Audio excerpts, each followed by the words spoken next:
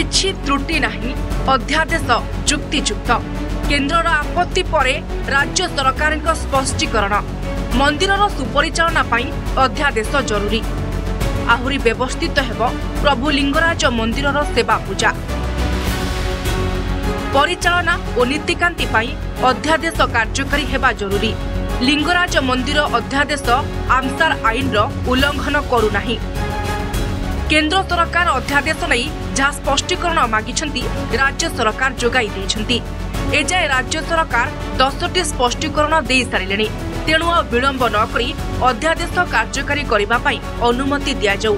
କେଦାରନାଥ ବଦ୍ରୀନାଥ କାଶୀ ବିଶ୍ୱନାଥ ମନ୍ଦିରରେ ବିକାଶ କରାଯାଉଥିବା ବେଳେ କାହିଁକି ଏକାମ୍ର ବିକାଶରେ ଲାଗୁଛି ବ୍ରେକ୍ ସେ ନେଇ ପ୍ରଶ୍ନ ଉଠାଇଛନ୍ତି ରାଜ୍ୟ ସରକାର।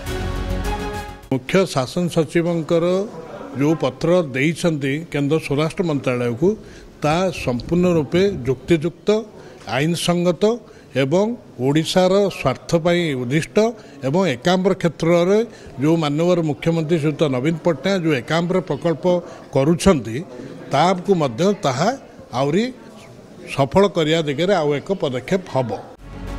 ସେପଟେ ମୁଖ୍ୟ ଶାସନ ସଚିବ ସୁରେଶ ମହାପାତ୍ର ଶ୍ରୀଲିଙ୍ଗରାଜ ମନ୍ଦିର ଅଧ୍ୟାଦେଶ ଦୁଇ ହଜାର କୋଡ଼ିଏ ନେଇ ଗୃହ ମନ୍ତ୍ରାଳୟକୁ ସାନି ସ୍ପଷ୍ଟୀକରଣ ଦେଇଛନ୍ତି।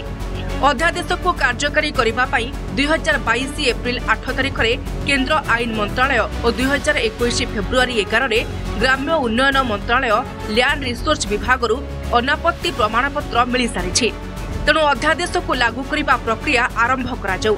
ସେପଟେ ଲିଙ୍ଗରାଜଙ୍କ ଅଧ୍ୟାଦେଶକୁ କାର୍ଯ୍ୟକାରୀ କରିବାକୁ କଂଗ୍ରେସ ଦାବି କରିଥିବା ବେଳେ ବିଜେପି କିନ୍ତୁ ରାଜନୀତିର ଭାଷା କହିଛି ଅଧ୍ୟାଦେଶ କାର୍ଯ୍ୟକାରୀ କରିବାକୁ ଲିଙ୍ଗରାଜ ମନ୍ଦିର ସେବାୟତ ଦାବି କରିଛନ୍ତି। ସେବାୟତଙ୍କ ତରଫରୁ ବହୁତ ଥର ଏ ବିଷୟ ସରକାର ପାଖରେ ଦାବି କରିଥିଲୁ ଲିଙ୍ଗରାଜଙ୍କର ଗୋଟେ ସ୍ୱତନ୍ତ୍ର ଆଇନ କରାଯାଉ। ଏହାଦ୍ୱାରା ମଧ୍ୟ ଆମ ସେବାକାରୀ ଏଠି ବହୁତ ଉପକୃତ ହେବେ। ଏଇଟା ଗୋଟେ ଭଲ ପଦକ୍ଷେପ ରାଜ୍ୟ ସରକାରଙ୍କର। ମୁଁ ଆଶା କରୁଛି କେନ୍ଦ୍ର ସରକାର ଏଥିରେ ଖୁବ୍ ଶୀଘ୍ର ମୋହର ମାରିବେ ଏବଂ ଲିଙ୍ଗରାଜଙ୍କ ଆଇନ ଗଠନ ହେବ। ଏହାଦ୍ୱାରା ପରମ୍ପରା ନୀତିକାନ୍ତି ଏସବୁ ଶୃଙ୍ଖଳିତ ରହିବ। ନା ଲିଙ୍ଗରାଜ ମନ୍ଦିରର ଆଇନ ହେବା ଦରକାର। ଯିଏ ଯାହା ପାଉତା କରିଯାଉଛି କଡ଼ାକଡ଼ି ଆଇନ ହେବା ଦରକାର। ତାହେଲେ ଏ ମନ୍ଦିର ମାଳିନୀ ଭୁବନେଶ୍ୱର ସୌନ୍ଦର୍ଯ୍ୟ ରହିବ ପୁରାତନ କୀର୍ତ୍ତିରାଜି ଉପରେ କୌଣସି ପ୍ରକାର ବିପତ୍ତି ଦେଖା ନଦେଲା ଭଳିଆ ପଦକ୍ଷେପ ଅ, କୌଣସି ସରକାର ନେବେ। ତାହେଲେ ହୁଏତ କେନ୍ଦ୍ର ସରକାର କୌଣସି ଆପତ୍ତି ଉଠାଇବ ନାହିଁ। କିନ୍ତୁ କେନ୍ଦ୍ର ଆଇନ ଉପରେ କେନ୍ଦ୍ର ଆଇନକୁ ଚ୍ୟାଲେଞ୍ଜ କଲା ଭଳି ଆଉ ଗୋଟେ ଅଧ୍ୟାଦେଶ ଗ୍ରହଣଯୋଗ୍ୟ ନୁହେଁ। ଶ୍ରୀଲିଙ୍ଗରାଜ ମନ୍ଦିର ଅଧ୍ୟାଦେଶ ଦୁଇ ହଜାର କୋଡ଼ିଏ କାର୍ଯ୍ୟକାରୀ କରିବା ପାଇଁ ରାଜ୍ୟପାଳଙ୍କୁ ରାଷ୍ଟ୍ରପତି ନିର୍ଦ୍ଦେଶ ଦେବା ସହ ଆବଶ୍ୟକ ପଦକ୍ଷେପ ଗ୍ରହଣ କରିବା ପାଇଁ ଚିଠିରେ ଉଲ୍ଲେଖ କରାଯାଇଛି। ଏବେ ଅପେକ୍ଷା କେବେ ଅଧ୍ୟାଦେଶକୁ ମିଳିବ ଗ୍ରୀନ୍ ସିଗ୍ନାଲ? ଭୁବନେଶ୍ୱରରୁ କ୍ୟାମେରାମ୍ୟାନ୍ ସରୋଜ ମଲ୍ଲିକଙ୍କ ସହ ଚିନ୍ମୟ ମହାପାତ୍ରଙ୍କ ରିପୋର୍ଟ ନନ୍ଦିଘୋଷ ଟିଭି।